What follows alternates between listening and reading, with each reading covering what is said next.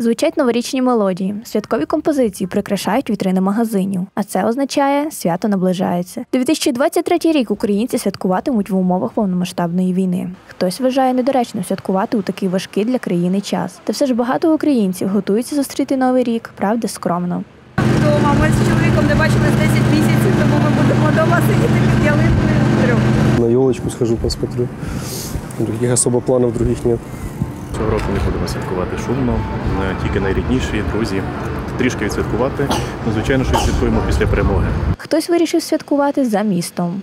В Карпатах у нас є дача, то ми будемо з родичами, з батьками в Карпатах. Цього року ресторани не пропонують відкритих вечірок. Та й у зв'язку з російською агресією та обстрілами енергетичної інфраструктури ворогом гірськолижний сезон на Закарпатті суттєво відрізнятиметься від попередніх років. Наразі тільки невелика частина курортів краю підтвердила роботу у витягів цієї зими. Снігу немає, а запустити штучний поки змогли тільки чотири гірськолижних курортів. Помічають зменшення туристів і екскурсоводи. Минулого року в нас був активний сезон е, в Пилипці. Ми на новорічні свята задіювали одразу 14 гідів. Сьогодні жоден з них не їде. Гідеса Марія розповідає, чимало туристів бронювали екскурсії містами області ще в жовтні, а от в листопаді почали відмовлятися від турів. І якраз в листопаді і початок грудня, коли пішли оці масові відключення світла, посипалися масові відмови. Тобто, реально, ми ще восени думали, що цей рік буде сильнішим за обидва попередні.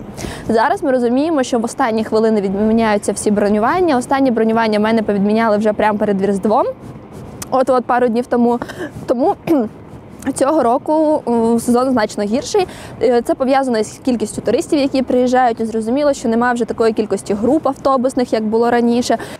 На жаль, не всі зможуть традиційно відсвяткувати разом з родиною чи друзями. Війна розлучила чимало сімей. А до нового року залишилися лічені дні. Пам'ятайте, новорічна пора час здійснення мрій. Головне щиро вірити у чудо. Я думаю, у всех одно желание, чтобы был мир, чтобы закончилась война, наши победы.